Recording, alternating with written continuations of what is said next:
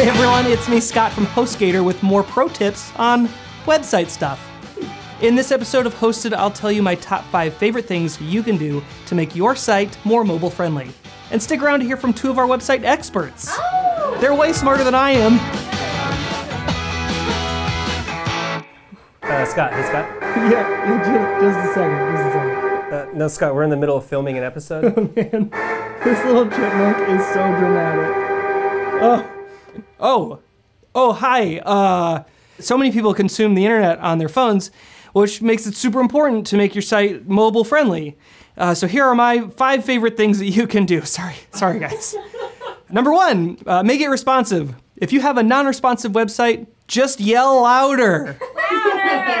JK, making a responsive website basically means designing it in a way that lets the layout change based on the size of the screen you're looking at it from. Web browsers have the ability to detect if you are looking at a website from a laptop or a phone or a tablet, and with the proper coding, can display things in a way that is easier to see and use, optimized for that device. This also helps with SEO as search engines actually look for and index higher this type of flexibility.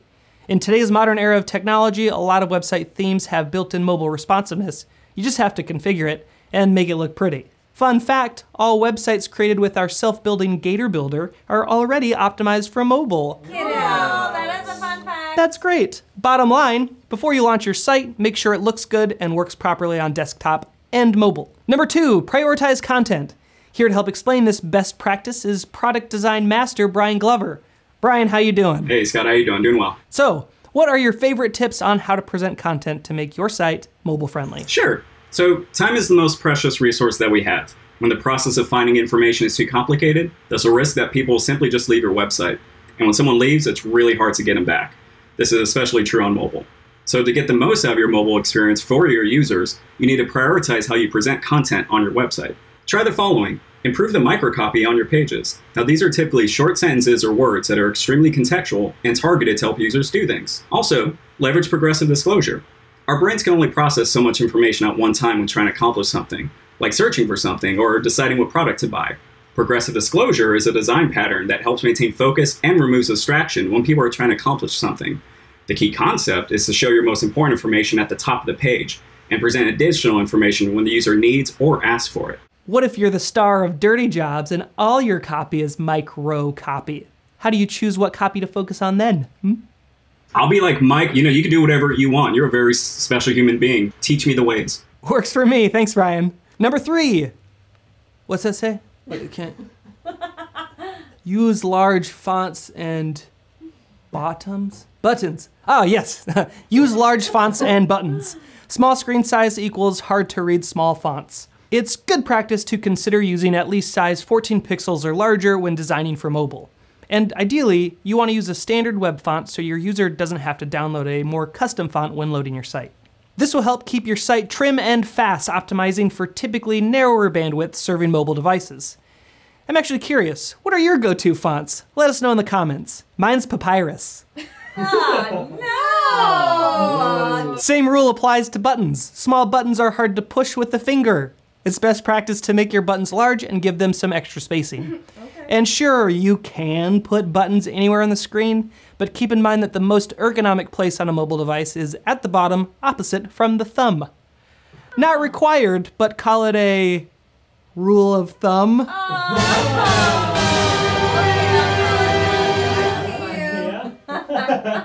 And be sure to test your site on several mobile devices and tablets to feel it out. You know what the internet calls ergonomics?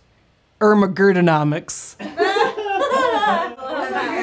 Number four, keep your website simple. Here to not complicate things, web designer pro Joe Stutzman. So tell us, how do we do it? How do we keep our website simple for mobile? Probably one of the most important acronyms you can remember when making your responsive site is KISS, which stands for Keep It Simple, Stupid. This is true of for all sizes of your site, but it's particularly important for mobile sites as the screen real estate is so much more limited when compared to other devices. Smaller screens means either more clutter or more scrolling if you try to keep every single bit of information exactly as you had it on your desktop size site. Clutter leads to users overlooking or skimming past information. Excessive scrolling can make users fatigued, but both can lead your customers to back out of a page entirely.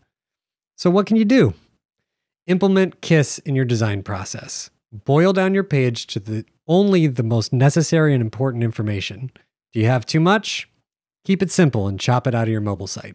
Last question. Can we see your best dramatic chipmunk?